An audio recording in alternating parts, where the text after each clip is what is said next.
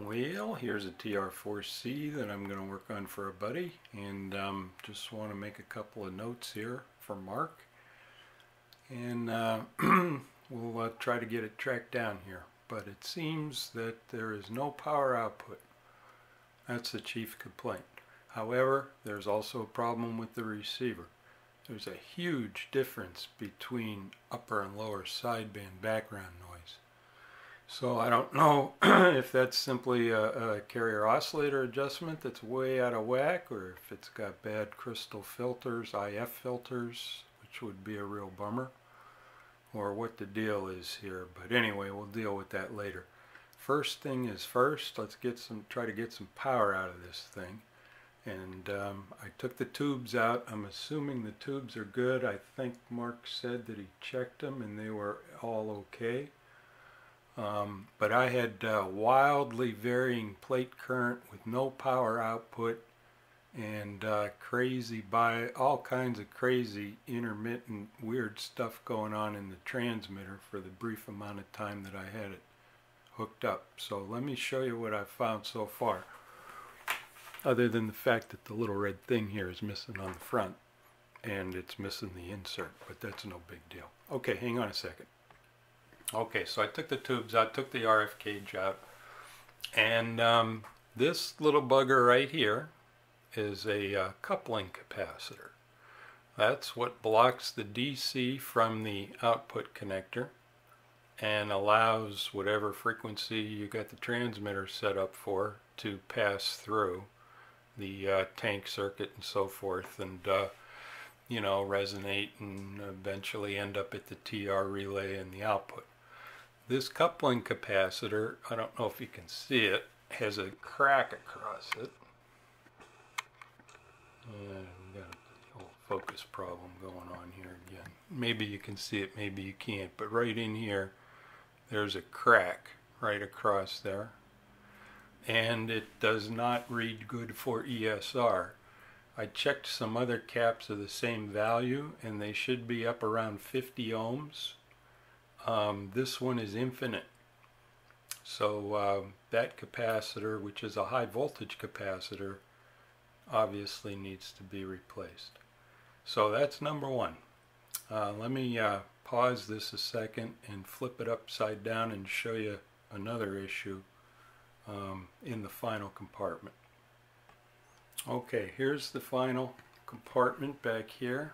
Mm try to get some light on this here and uh, zoom in a little bit.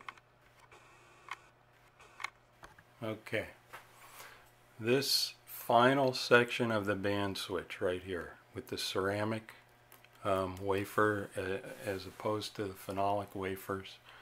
This is what switches in the, the uh, proper tank coil for each setting of the band switch. And um, we got a problem, Houston, we got a problem here. Um, let me reorient this a little bit so I can show you. Okay, we'll try this. Um, on this side of the band switch here, I don't know if you can see it or not, but this connection right here is missing. It's blown away. Um, and the tab is missing, it's not making contact, and that is one of the 10 meter positions right here.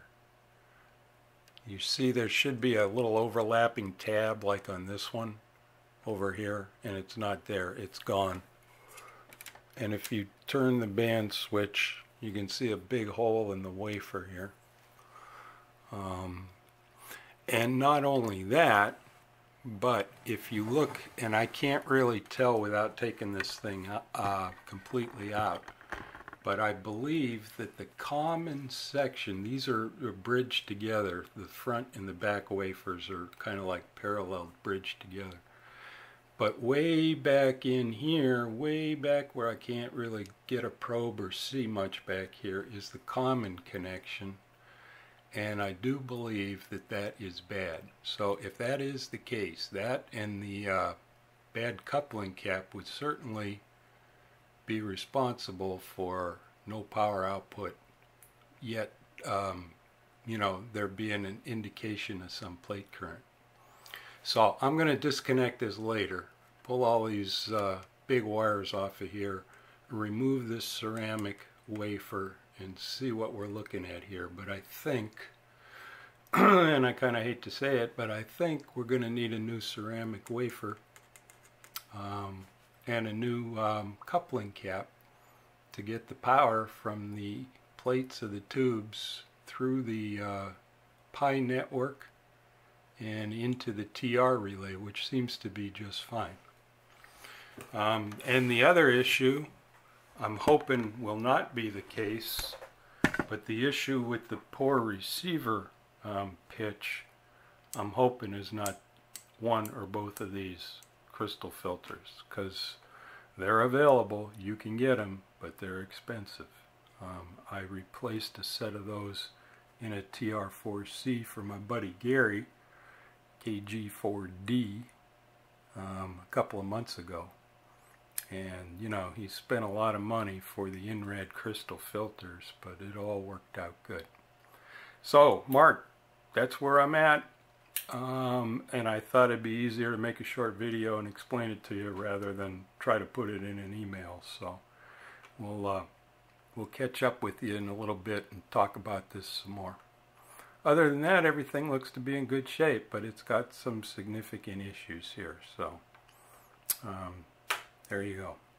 Okay, that's it for now. We'll uh, catch you guys a little bit later. Keep on tinkering.